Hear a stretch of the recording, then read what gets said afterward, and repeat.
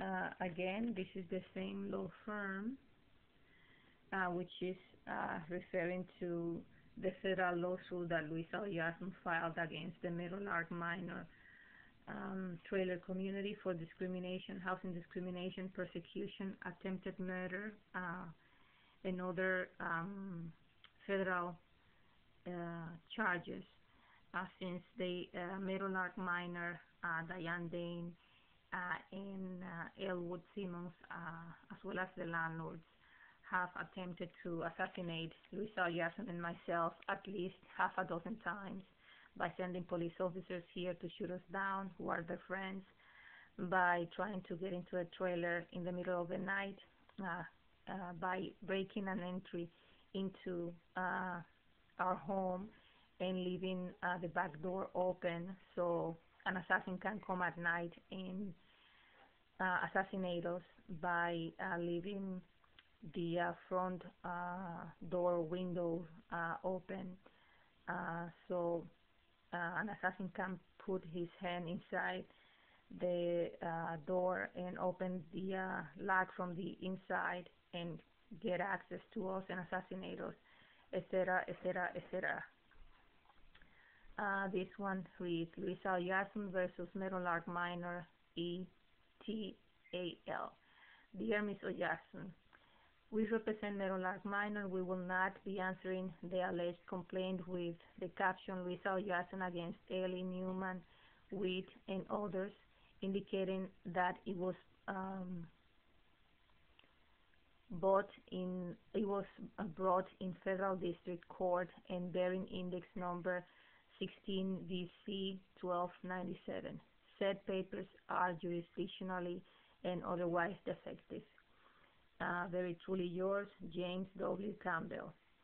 Uh, they're not as defective as uh, he says they are because uh, they were given a docket number and accepted by the federal court uh, and uh, a licensed, it has the style of a licensed um, lawyers uh, who practice uh, practices in federal uh, court.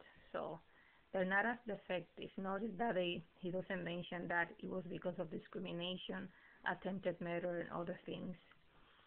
Uh, just like he doesn't mention that um, they are uh, doing the illegal eviction because um, the said uh, Meadowlark Minor landlords and um, manager are uh, friends with Diana Dane and we reported her trafficking of uh, citizens' identities and government benefits and uh, they refused to do the repairs as per her order.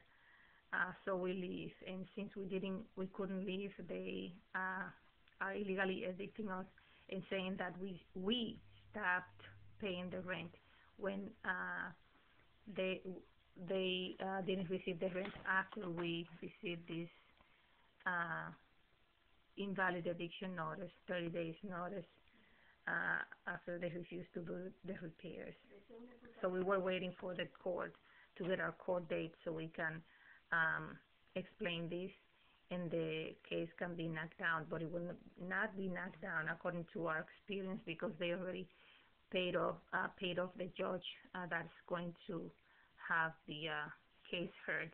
One thing that they usually do, the illegal aliens mafia, is that they have a, a court case um, outside of the uh, computers of the court. So when people go look for that case, it is not found, and the case usually is isolated, not done with other cases. Uh, you know about it, it is done about six o'clock at night, not in regular, um, in the regular